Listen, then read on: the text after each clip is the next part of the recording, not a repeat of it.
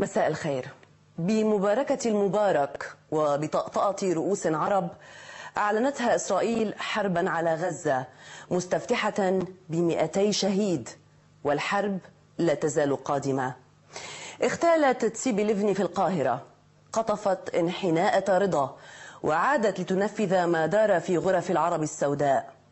لكن مصر كانت رؤوفة على الأموات ففتحت لهم المعبر الذي أغلقته على الأحياء من أهل غزة.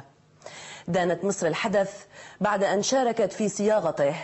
تهافت العرب على الاستنكار المتأخر والذي كان مرصودا أيام الجوع والحصار والقتل بالتقسيط. استنكار فضحته تسيبيليفني عندما كشفت عبر يديعوت أحرنوت اليوم أنها أبلغت دولا عربية وغربية بالتحرك الإسرائيلي العسكري ضد غزة.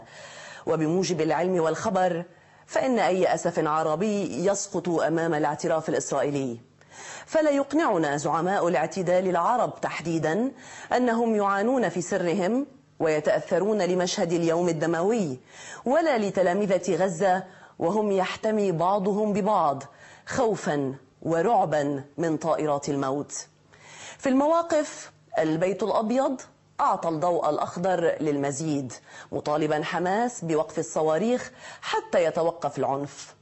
السعودية أعطت ضوءا مماثلا عبر صمتها القاتل. سوريا بدأت اتصالاتها كرئيس للقمة العربية. قطر